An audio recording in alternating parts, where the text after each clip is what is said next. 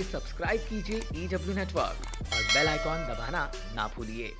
Action नहीं लिया है। मैंने दो दिन से फॉलो अप किया था। मैंने एसपी सर को भी कल पूछा था। तो एसपी सर ने मुझे बिठा के प्यार से समझाया था की बेटा अपना जो है जो चल रहा है त्याला उद्ध्वस्त करू नकोस तुला तुझा संसार टिकवायचा आहे सो सेटलमेंट की बातें एसीपी सर ने मेरे साथ की थी। मनसे का वो नेता है तो मनसे के तरफ़ से कोई भूमिका अभी तक आप तक पहुँची है? नहीं। बिल्कुल नहीं पहुँचे किसी का फ़ोन भी नहीं आया है बट मैंने आदरणीय राज ठाकरे सर को एक लेटर लिखा है। शायद मैं मुझे हिचकिचाहट हो रही है कि मैं भेजूं या नहीं भेजूं मिलूं या नहीं मिलूं बट अभी मनसे की तरफ़ से कोई भी मेरे लिए कुछ भी सपोर्ट नहीं आया है।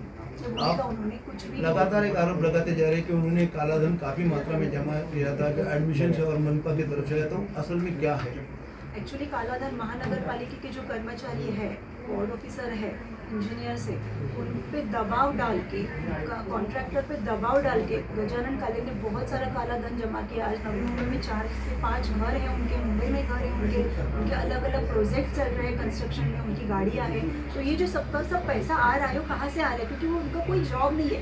उन्होंने मेरे बेटे की स्कूल इसमें लिखा है कि रियल इस्टेट एजेंट अगर एक रियल इस्टेट एजेंट है तो इतना पैसा रियल इस्टेट एजेंट को नहीं मिल सकता कि इतनी संपत्ति वो जमा कर सकता है। मैं आपको, जैसे ही मैंने एफआईआर दर्ज की, उनके जो वकील थे, उसी दिन पुलिस स्टेशन में आए, मुझे सेटलमेंट करने के लिए बोल रहे थे, बोल रहे थे, एक बार सर से बात करो। मैंने मैं नहीं बात करूँगी।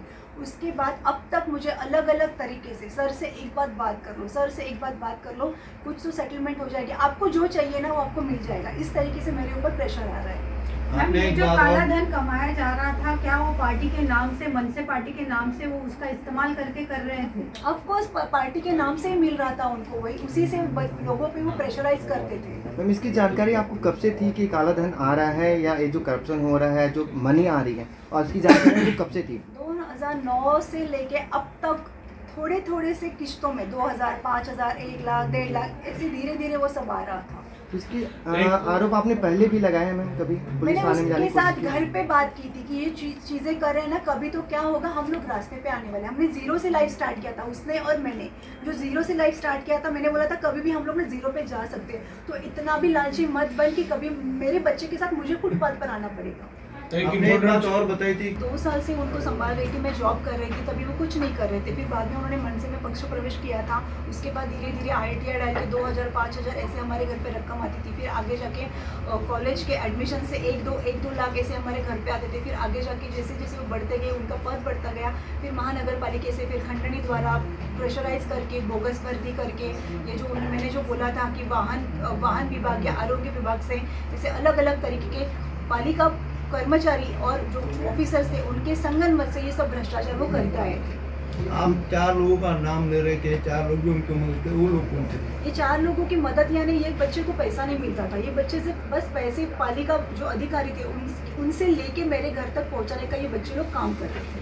कौन है वो लोग? वो बच्चे लोग हे संदीप तुर्मेकर संदेश डोंगरे अनिकेत जयवंत पाटिल सागर नाईकरे अप्पासाहेब कोटुळे मैम ऊपर देखिए सामने देखिए। मैम आप जो आरोप लगा रहे हैं इसका कोई साक्ष्य आपके पास है? साक्षर जो मैं ही खुद हूँ कि मेरे घर पे हर दो या तीन दिन के बाद या फिर वीकली मेरे हाथ में पैसे आते थे दो लाख कभी डेढ़ लाख बच्चे जब मुझे बोलते थे की वहिनी हे दीड लाख रुपये आहेत मोजून ठेवा। वहिनी हे दोन लाख आहेत मोजून ठेवा।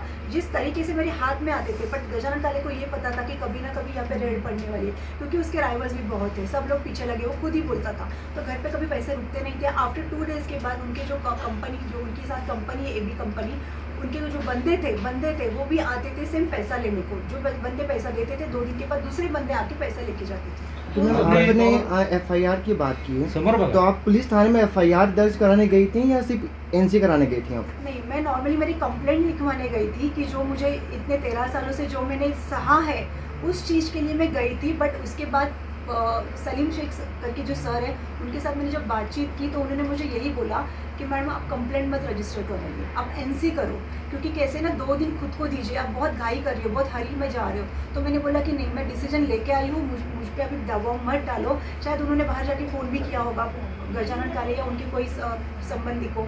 तो उसके बाद मैं वहाँ पे डटी रही, मैंने बोला, मुझे एफआईआर ही दर्ज करानी है। क्योंकि कैसे ना आंदोलन करके सामने वाले को दबाना फिर प्रेशराइज करके पैसा निकालना इसको हम लोग सीधी भाषा में खंडनी बोलते हैं। तो वही चीज़ों से स्टार्ट हुआ था। मतलब ब्लैकमेल करते थे।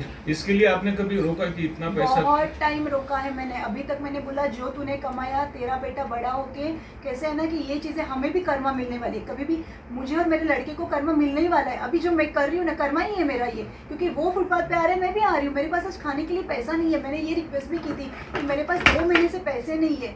मैंने ये भी बोला था कि मेरे अकाउंट में थोड़े से पैसे जमा कर क्योंकि तेरा लड़का आज भूखा है। जब जिस बच्चे के नाम से तू राजकारण करता है ना स्टेज पे जाके भाषण ठोकता है ना उस बच्चे के लिए तो थोड़ा सा सोच ले कि फ़ोन कर ले कि, बाबा, तूने खाना खाया है क्या?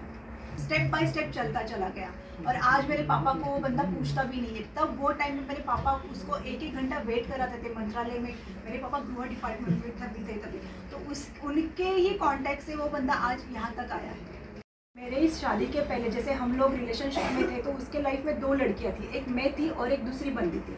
जब मुझे ये पता चला, मैं मूव ऑन करके चली गई थी। बट कैसे हुआ ना कि बाद में वो बंदी के पेरेंट्स सीधे सिंपल थे। तो जब उसको पता चला कि इसके पापा एक अच्छे से पोस्ट पे तो उसका फ़ायदा लेके आज तक जो आज गजान कले आपको दिख रहा है ना, बस मेरे पापा दूरिया थी। जैसे हमारे फ़ंक्शंस थे फैमिली फ़ंक्शंस थे, जैसे मेरा बर्थडे था एनिवर्सरी थी, बच्चे का बर्थडे उस चीज़ों में वो बंदा इतना एक्साइटेड रहता था कि घर पे ही सेलिब्रेशन रहता था फ़ोटो वोटो निकालना, और मेरे पे दबाव हमेशा रहता था कि सोशल मीडिया पे। कभी भी ये चीज़ें अगर मैं उसने अगर डाली होगी, ये मेरे से दबाव से डाली, मैंने कभी मेरे खुद से नहीं, मेरा बच्चा भी इस बात का गवाही है कि हमेशा फ़ोटो डालना ये हमेशा फोर्स रहता था, क्योंकि बाहर ही ये बातें जानी नहीं चाहिए। मैं कभी भी समाज कारण राजकारण, कभी उनके बंदों को मिली नहीं जितने भी पक्ष के बच्चे हैं या पदाधिकारी, कभी मेरे से इंटरेक्शन नहीं हुआ क्योंकि उसे ये पता था कि कभी ना कभी मैं ये बातें बाहर लाऊँगी। तो मैं हमेशा घर में ही रहती थी, दबी हुई रहती थी। है ना कि सब लोग सपोर्ट करेंगे। और मैंने जो बोला ना सोशल मीडिया पे आ रहा है कि सब तू राजकारण करते तुम राजकारण कर रही हो तुम स्टंटबाजी कर रही हो कि तुझे कोई पक्ष से टिकट मिलने वाला नहीं बाबा मुझे कुछ नहीं चाहिए। मैं और मेरा लड़का बहुत हैप्पी है हमारे लाइफ में। इस चीज़ में हम लोग को पढ़ना भी नहीं है। सब लोग सपोर्ट कर रहे हैं मुझे बस पार्टी में चाहिए मुझे लड़ना है मुझे न्याय चाहिए। सब लोग आ रहे हैं उनके लिए सच्ची में धन्यवाद है। बट ये चीज़ों चीज़ें ये हो रही है ना कि राजकारण कर रही है स्टंटबाजी कर रही है टिकट के लिए कर रही है तो नहीं बाबा ये कुछ नहीं है। मैं एक सर्वसामान्य गृहिणी हूँ। पुलिस अभी एक्शन नहीं ले रही अगला कदम क्या रहेगा आपका? कुछ नहीं मैं जाऊँगी फिर से एसपी सर को मिलूँगी बार बार जाके मिलूँगी नहीं तो फिर लास्ट ये है कि मैं ऊपर तो बैठ जाऊँगी। क्या है ना कि मेरे हाथ में यही है मेरे हाथ में कोई बाकी चीज़ नहीं मेरे पास सत्ता नहीं है पावर नहीं मेरे पास पैसा भी नहीं है आज कि मैं पुलिस को जाके या बाकी लोगों को खिलाऊँ वो वो चीज़ें मेरे में नहीं है क्योंकि मैं वो चीज़ में पढ़ने वाली बाई भी नहीं हूँ।